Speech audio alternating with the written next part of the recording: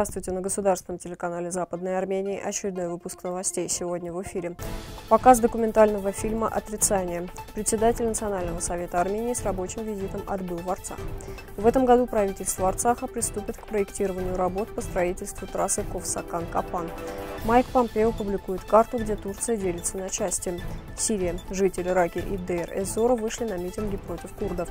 Хасан Киев рискует оказаться под водой. Монастырь святых апостолов. Муж.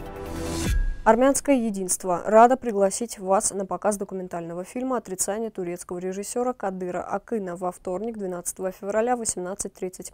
Юнимейл, салон М11.30, вход свободный. Фильм будет представлен Вигеном Чеатерианом, после чего состоится обсуждение фильма. Фильм «Отрицание» был снят Кадиром Акином. Фильм о событиях османского демократического интеллектуального движения и об армянском вопросе, как это было в 1893 году. В частности, он описывает историю армянских партий и борьбу за права. Для создания фильма основой служили исторические события ГУМ, ГАПУ, восстание Сосуна и Зайтуна, а также ограбление Османского банка и описание армянских депутатов Османского парламента в 1908 году. Во время публикации конституционного режима, а также борьбы, которую они вели там за социальные права. В фильме рассказывается о геноцидной политике партии «Союз» и «Прогресса». Документальный фильм основан на казни деятеля армянского национального освободительного движения Парамаза, который был казнен вместе с 19 единомышленниками на площади Баязет в июне 1915 года. Снятый в Женеве, Базеле и Константинополе, фильм полон отчетов и архивных материалов. Продолжительность фильма 55 минут. Председатель Национального собрания Армении Арарат Мирзаян 8-10 февраля с рабочим визитом будет находиться в Республике Арцах. Как сообщили Армен Пресс в пресс-службе Национального собрания Армении, намечаются встречи с президентом Республики Арцах Бако Саакяном, председателем Национального собрания Республики Арцах Гуляном, руководителями парламентских фракций, председателями комиссий и депутатами. 7 февраля правительственная делегация во главе с государственным министром Республики Арцах Григорием Мартиросяном отправилась с рабочим визитом в городские и сельские общины южной части Кашатакского района. В городе Мджаван Мартиросян ознакомился с планом строительства нового многоквартирного дома на базе одного из существующих зданий в бывшем жилом комплексе и проконсультировался с властями на месте. В Курсакане государственный министр провел расширенную рабочую консультацию. Государственный министр сообщил всем присутствующим, что в этом году правительство Арцаха приступит к проектированию трассы Ковсакан-Капан. Мартиросян посетил территориальную больницу, ознакомился с условиями, оборудованием и перспективами развития больницы. 4 февраля Майк Помпео приветствовал решение некоторых европейских стран принять Хуана Гаяда, исполняющего обязанности президента Венесуэлы. Он опубликовал в Твиттере карту, на которой представлены все страны, которые приняли такое решение. Тем не менее, страна, которая не признала Гуайдом, привлекла внимание многих пользователей. Это Турция, территория которой разделена на карте. Весь мир, и особенно турецкий народ, должны знать, что эта линия фактически является границей между Турцией и Западной Арменией. Согласно арбитражному решению президента Удра Уилсона от 22 декабря 1920 года и Севскому договору, ратифицированному султаном Мехметом V. Вопрос не в том, чтобы разделить Турцию, а в том, чтобы применить международное право к Западной Армении и к армянскому народу с обязательным и беспрепятственным правом исполнения. День за днем народ Турции соприкасается со своей историей, и им придется приспосабливаться к этой истине даже после векового мошенничества и вранья. Проблема этнической принадлежности армян как коренного населения, проблема исламизации армян, проблема ДНК турецкого населения, компенсация в отношении Западной Армении, проблема геноцида против армян, греков и ассирийцев, незаконная оккупация Западной Армении. Все жители Турции должны знать об этом и принять неоспоримую правду. Напомним, что после ратификации Севского мирного договора Западной Армении в 2016 году и после так называемого госпереворота в июле 2016 года в Турции российская телекомпания НТВ опубликовала карту, показывающую границы между Турцией и Западной Арменией, а также флаг Западной Армении. Напомним, что 29 декабря 1917 года Советская Россия приняла декрет о турецкой Армении, Западной Армении, и по этому декрету право армянского народа на самоопределение и в дальнейшем на независимость.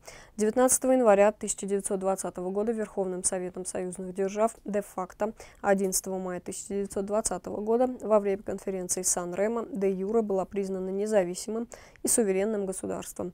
22 ноября 1920 года президент США Вудро Уилсон начертил границы Армении. Следует отметить, что Западная Армения не была признана Организацией Объединенных Наций из-за ее оккупации Турцией. Напомним, что в 1894 по 1923 годы на оккупированных территориях Западной Армении коренной народ Армении подвергся геноциду тремя турецкими правительствами. Город Карин, Эрзрум, является официальной столицей Западной Армении, которую признали союзные государства в 1920 году.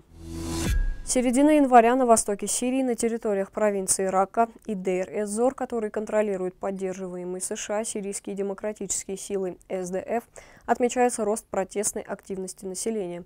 Как сообщил источник Федерального агентства новостей, местные жители выходят на митинги против тяжелейших условий жизни. Условия для жизни в провинциях сильно ухудшились из-за запрета, наложенного подконтрольными США формированиями на оказание гуманитарной помощи правительством в Дамаске. Кроме того, курдские боевики расхищают гуманитарные грузы, поступающие по линии международных организаций. Акции имели просирийский характер. Их участники открыто выражали поддержку президенту Башару Асаду своими речевками «Нашими душами, нашей кровью мы умрем за тебя, Башар». Участники акции сожгли флаги стран-членов коалиции Соединенных Штатов и Франции. Исторический город Хасанкейф в Восточной Турции окажется почти полностью затоплен в связи со строительством дамбы для новой ГЭС, передает BBC. Власти говорят, что плотина обеспечит страну электричеством и водой для орошения земель. Критики обеспокоены, что проект уничтожит древние памятники культуры, включая пещеры периода неолита и радикально изменит местную экосистему. Один из трех монастырей, наряду с Акберкванком и Матнаванком, армянской апостольской церкви в пяти километрах от города Муша, в ущелье реки Мегра-Гет, окруженном с трех сторон горами армянского Тавра, чуть выше густых лесов и гор Сосуна. Монастырь Сурб-Аракелоц был основан в VI-X веках в исторической провинции Тарон, близ города Муш. Этот храм, как и сотни других армянских обитателей, о Западной Армении был разрушен во время геноцида против армян. В конце XIV века он был сильно разрушен во время нашествия Ленг-Тимур. В XV-XVI веках стали знаменитым и влиятельным центром письменности. В настоящее время сохранились только руины. Шедевром элегантной резьбы по дереву является дверь церкви, которая в 1921 году доставила археолога Ашабека Калантара из Тифлиса в Ереван. Монастырь имел обширные поместья и свои доходы. В 1872 году Горегин Сарванстянц основал при церкви вечернюю школу, в которой в 1886 по 1888 год учился известный федоин Геворг Чауш. Около церкви сохранилось кладбище с хачкарами. Согласно преданию, там были погребены Мовсес Хоренаци, Казар Парпети, философ Давид Анахт и другие, в честь которых церковь Аракелоц называлась также Церковь святых переводчиков. В 1915 году монастырь был разграблен и опустошен. В ноябре 1901 года отряд Андроника Озаняна и Геворка Чауша занял оборону в Сурб-Аракелоц и провел боевую операцию по его защите от многочисленного турецкого войска, известную как «Битва за монастырь святых апостолов». В течение 25 дней армянский отряд бойцов национально-освободительного движения успешно отбивал атаки на монастырь. Османские войска, осадившие монастырь, потеряли убитыми более тысячи солдат. Однако Андроник сумел вывести своих соратников из монастыря, потеряв только троих человек. Предводителем монастыря святых апостолов в это время был архимандрит Оганес Мурадян. На сегодня у нас все. Далее мы представим вашему вниманию Маратук Амуйт.